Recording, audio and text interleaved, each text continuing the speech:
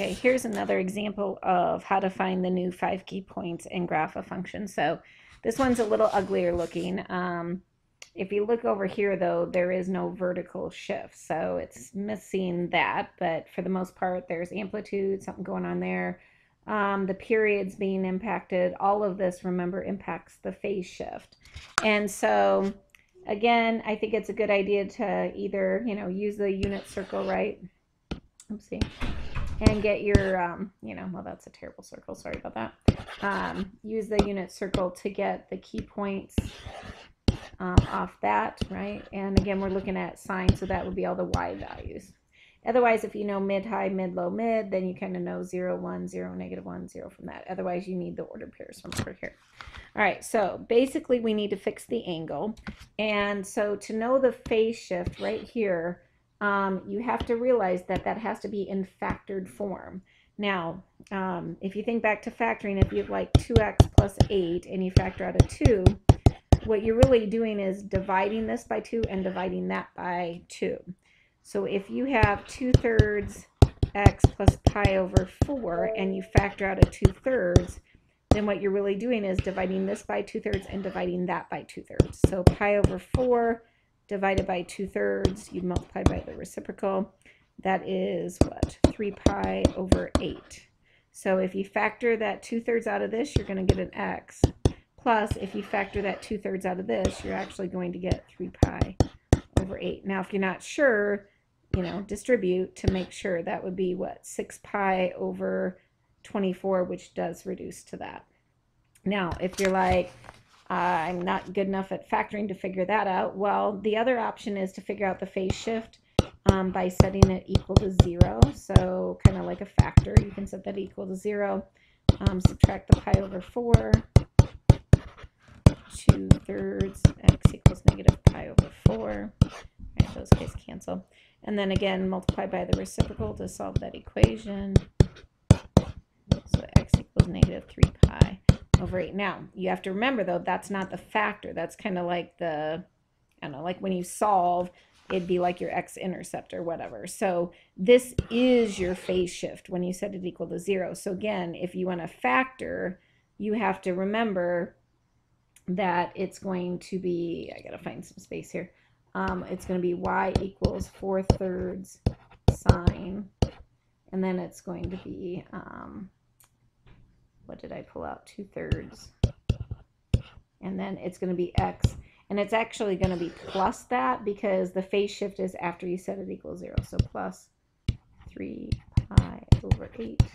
So you're going to get it if you factor right there.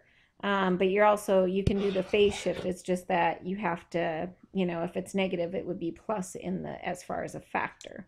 If this was positive, this would be subtraction as far as the factor goes.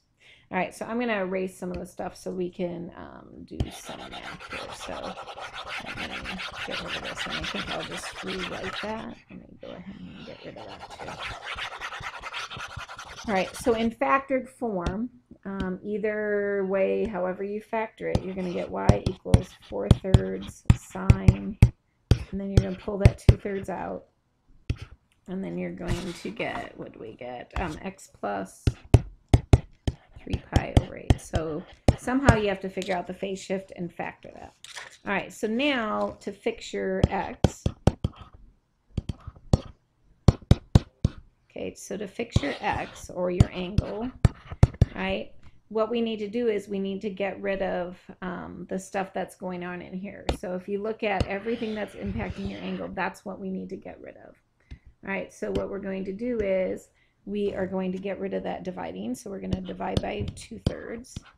And we're going to get rid of the phase shift there. So we're going to subtract the 3 pi over 8. Okay. And again, that's technically adding the phase shift. The phase shift is a negative 3 pi over 8, which is going to shift everything to the left. So you could add a negative there too. Uh, great.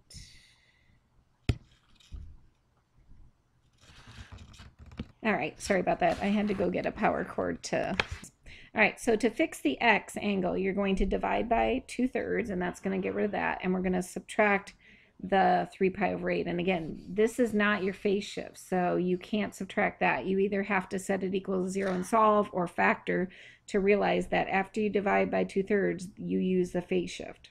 All right.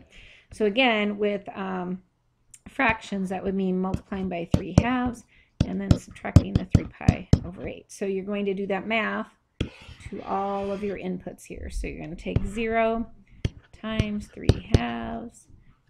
And let's see, what else do we have to do there? And then subtract 3 pi over 8. You're going to do the same too. Let me just write these guys all down. Pi over 2, pi, 3 pi over 2, and 2 pi. All right, so you're going to multiply by 3 halves minus 3 pi over 8 times 3 halves minus 3 pi over 8 times 3 halves minus 3 pi over 8 and times 3 halves minus 3 pi over 8. So again, I'm not going to do all of these because hopefully you guys are good with fractions, but this would be 0. Um, so you're going to get a negative, um, 3 pi 8. Um, here you're going to get what? 3 pi over 4. So this is going to be 3 pi all over 4. And then you have minus 3 pi over 8. So you're going to have to double to get a common denominator right? And so that's what 6 pi over 8 minus 3 pi over 8, which is going to be 3 pi over 8. And it looks like this is going up by 6 pi over 8. Um, but again, we can figure that out later. Um, stick a 1 underneath that. That would be, what, 3 pi over 2. So this would be 3 pi over 2. Again, I need a common denominator, so times 4 times 4. So 12 pi over 8 minus 3, so that's going to be what? 9 pi over 8. So it does look like it's going up 6 pi over 8 because it starts negative, add 6, I get this, add 6, I get this. So then if I know that, then I could just add 6 to this and then add 6 to that, and hopefully I'm adding correctly.